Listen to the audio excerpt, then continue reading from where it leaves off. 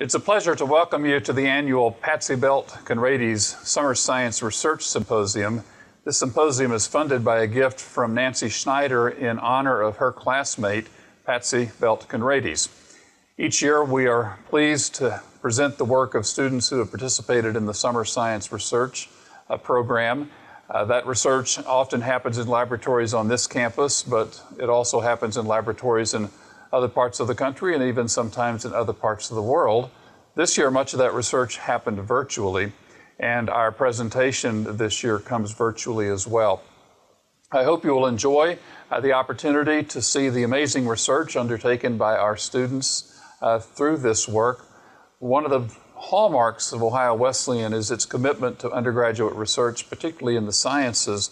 And that hallmark has been recognized, including in the recent National Science Foundation doctoral completion study, which found that Ohio Wesleyan students, graduates, are in the top 1% uh, in the country of students who complete degrees in the biological sciences and go on to earn doctoral degrees.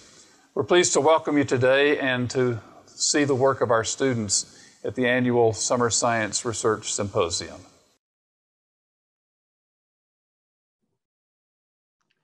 Excellent. And so without further ado, what I'd like to do is have each of the four students presenting in this session just go uh, and briefly identify yourselves and your name, and you can do that in the order that you appear on the website. And then we will go through and have each student give a three minute um, summary of their research for the summer. So Sierra, you're on first. Would you like to get us started?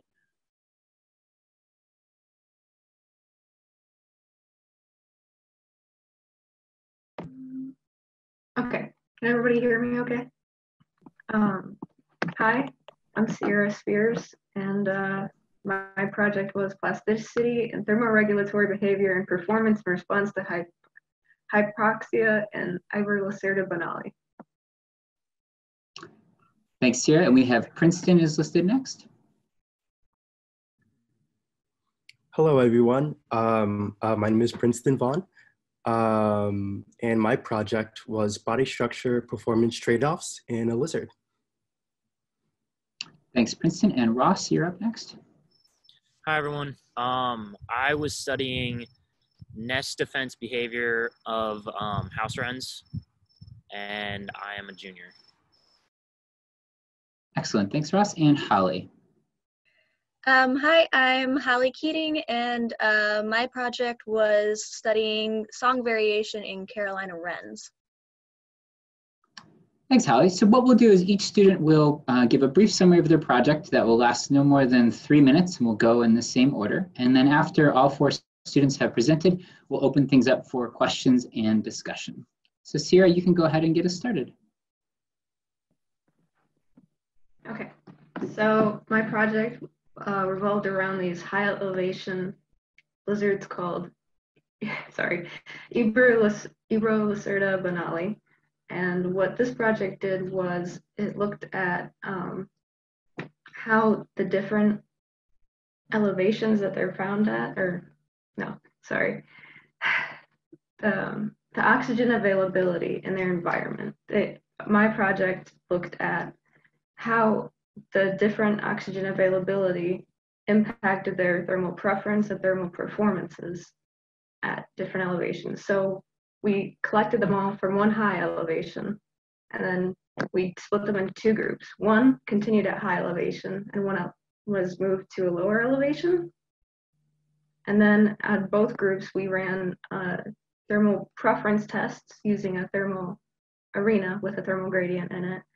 And then uh, a thermal performance test, which was a racetrack that we raced them down. And um,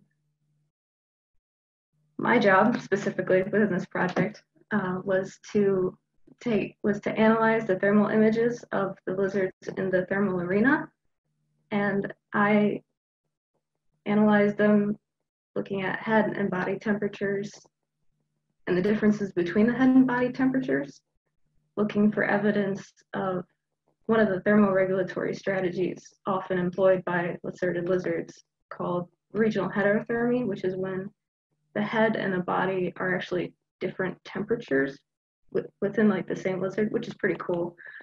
Um, and that's used to keep the brain from overheating, especially in like high temperature, sorry, high temperature environments, which is in- being more and more found with climate change. So, um,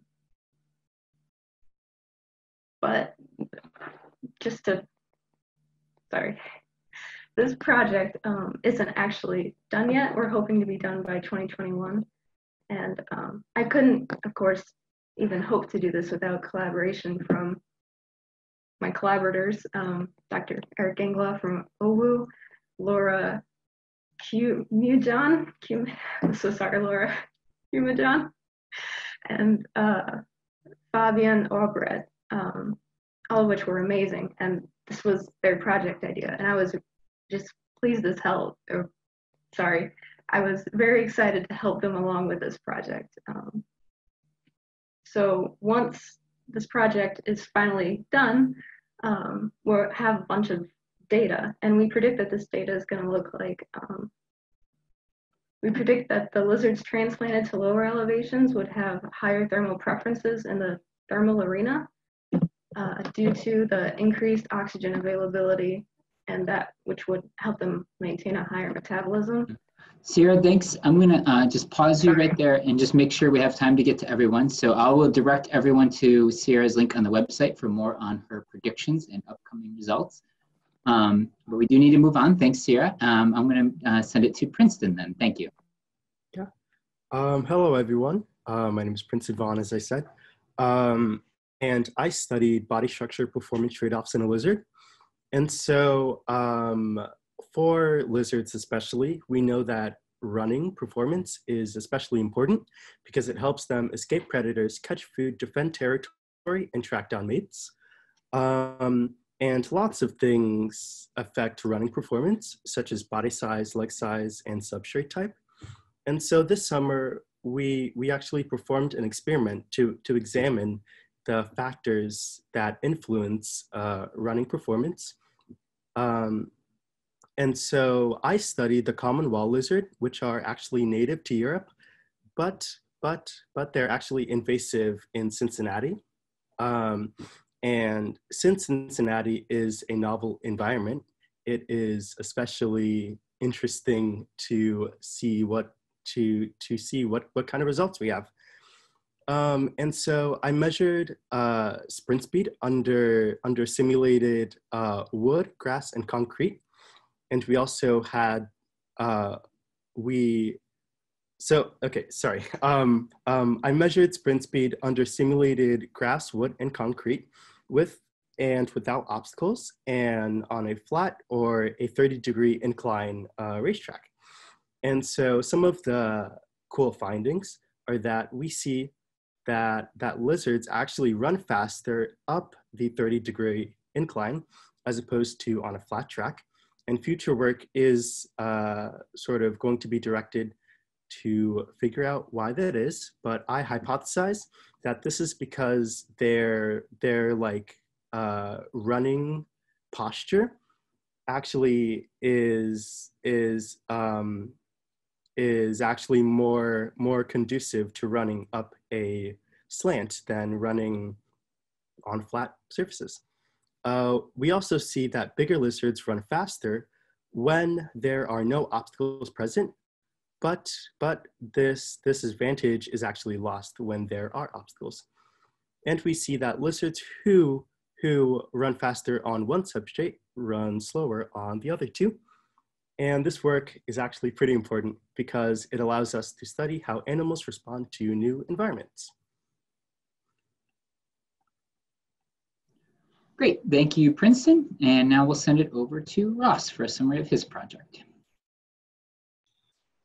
Hi. Um, so my project was on um, nest defense behaviors of house wrens. House wrens are small um, passerines, so they're songbirds.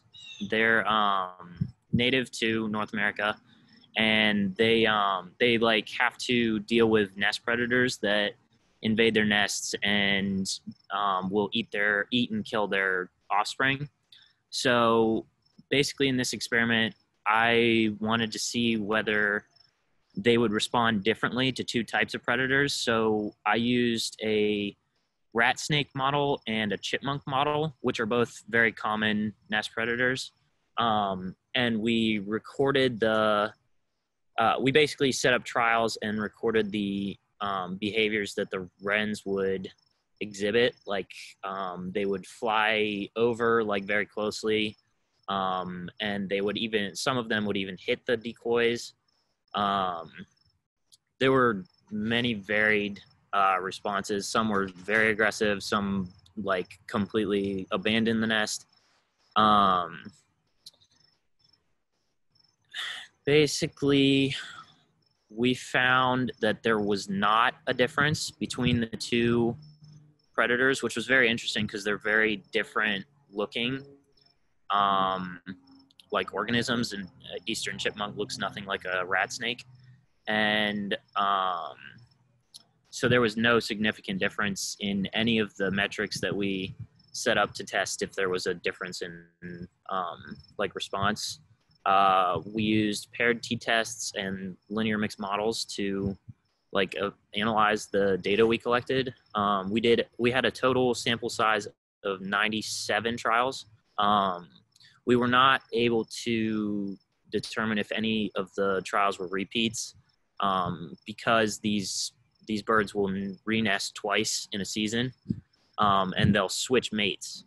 So some of these may have been repeat um, parents.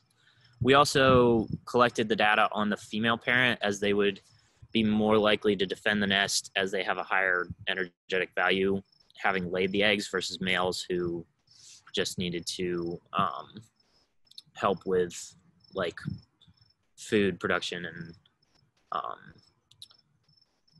so for future directions we would like to i would like to continue this and look at if there are uh, hormones that regulate this behavior such as corticosterone or testosterone or even prolactin as like mother uh, that relates to mothers um, like caregiving behavior um, and it would also be interesting to add a large predatory bird model that poses not only a risk for the um, nestlings, but also for the actual adult house wrens to see if risk weighing plays a role in anti-predator behavior.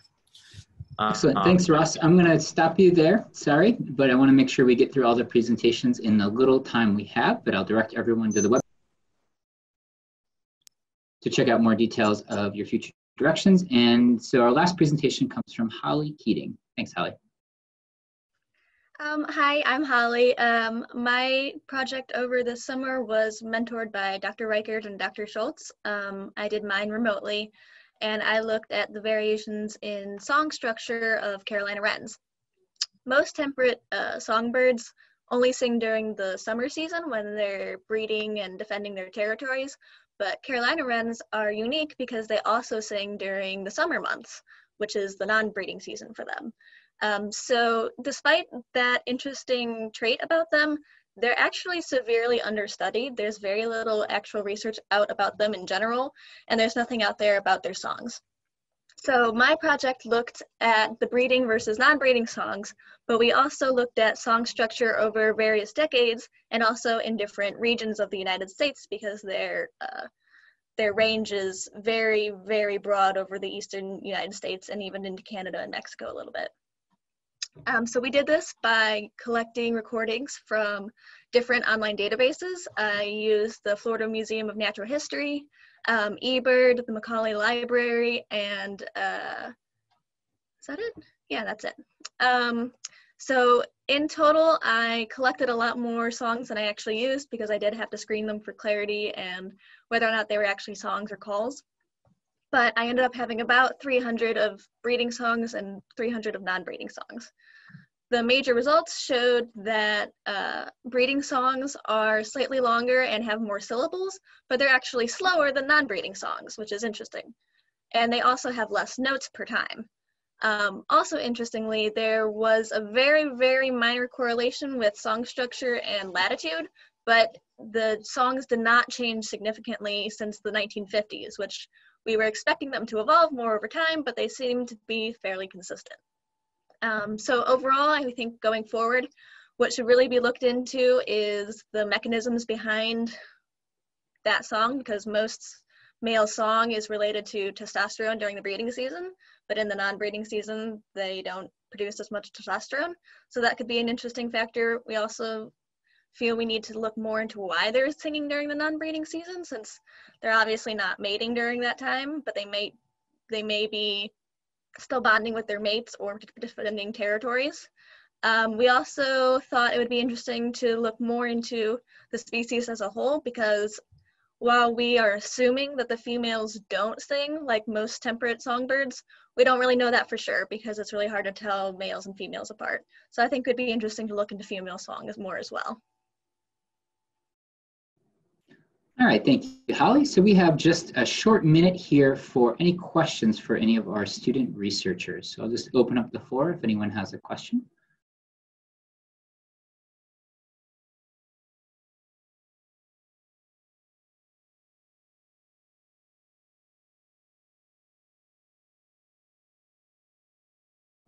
Okay, I'll ask a quick question then. So I'm curious to know from any of you, what was something that happened during your experiment that was kind of surprising and that you had to adjust your planning and your experiment around? And, and any of the four of you, feel free to answer that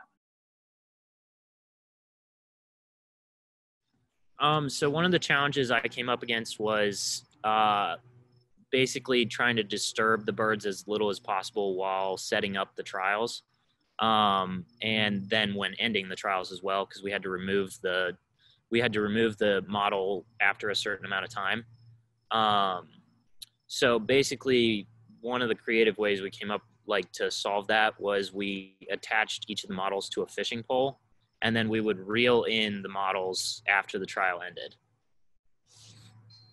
we use fishing poles to catch lizards as well so they, they, they came in handy this summer uh, unfortunately, we are out of time. There are other SSRP sessions starting right now at one o'clock. So out of respect for that, we will end here. But I want to encourage everyone to check out the link. It's posted in the chat to all of these students' great work over the summer.